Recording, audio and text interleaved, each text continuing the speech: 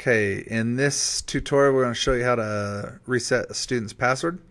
So the first thing you're going to do is you go to the um, view assessments to the test they're about to take, you're about to give them. In this case, we're going to do solving equations test. Once you're in your test, you can go to administration and say online testing. And then if you've already added the roster, you're going to click this number. If you haven't added the roster, you need to make sure you add a roster first.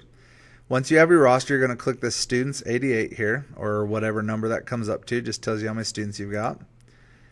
And once you get a student list, you can then just come up to the student and say reset password before they've taken the test.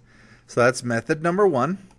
Method number two is if you haven't created an assessment yet, but you just need to reset a password, you go to students you go to Manage Portal Access.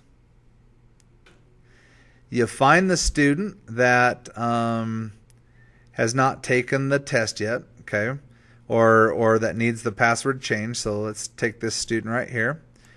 We're going to come over here and we're going to delete him out of the portal. And that doesn't delete any information, it just deletes him out of the portal. And then we can come in here and say add a student. Go to students. We're going to type that kid's name in again. Find students.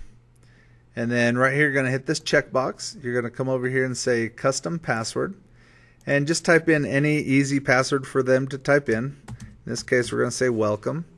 And then click OK. And what that's going to happen is after they log in with the password welcome, it'll prompt them to change their password then just make sure they change it to their school password and tell them not to forget it again.